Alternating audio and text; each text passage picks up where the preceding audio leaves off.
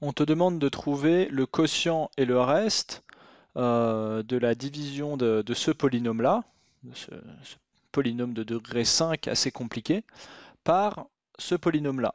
Et là, on remarque que ce polynôme-là, c'est euh, un binôme de degré 1 et que le coefficient de x, c'est 1.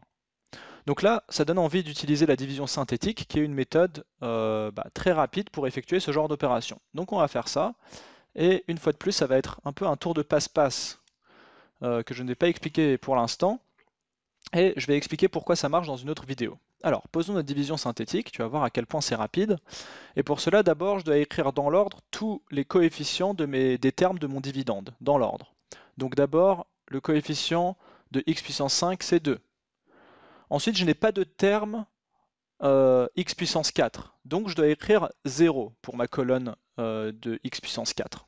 Il faut faire attention à ça, c'est un piège euh, dans lequel les élèves tombent assez souvent. Donc, dans l'ordre, je vais écrire mes coefficients. 2, 0, moins 1, 3, moins 2 et 7. 3, moins 2 et 7. Très bien. Et ensuite, à gauche ici, je vais écrire 3, qui est l'opposé de moins 3. Donc je prends ce moins 3 et j'écris son opposé ici. Ensuite, en quoi consiste euh, la séquence des opérations qu'on va faire? Donc on va commencer par ce 2.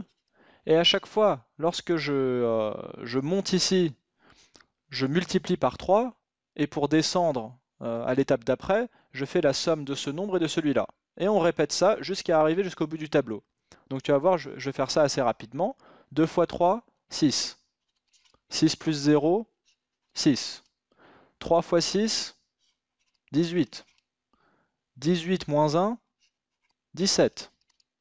17 fois 3, 3 fois 7, 21, je retiens 2. 3 fois 1, 3 et 2, 5.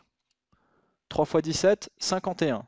51 plus 3, 54. 54 fois 3, 3 fois 4, 12 et je retiens 1. 3 fois 5, 15 et 1, 16. Donc 3 fois 54, ça fait 162. 162. 162 moins 2, 160. 160 fois 3, 3 fois 0, 0. 3 fois 6, 18 et je retiens 1. 3 fois 1, 3 et 1, 4. Donc 3 fois 160, ça fait 480. Et 480 plus 7, ça fait 487. Et voilà. Par cette méthode-là, je fais apparaître mon quotient et mon reste. Donc ici, je sépare mon reste, 487, des euh, coefficients des termes de mon, de mon quotient. Et je peux donc écrire le résultat final de cette manière-là. 2x puissance 5 moins x puissance 3 plus 3x carré moins 2x plus 7, donc mon dividende, il est égal à mon quotient. Donc ici c'est mon terme constant, ici mon terme en x, ici mon terme en x carré, ici mon terme en x cube, et ça c'est le coefficient de x puissance 4.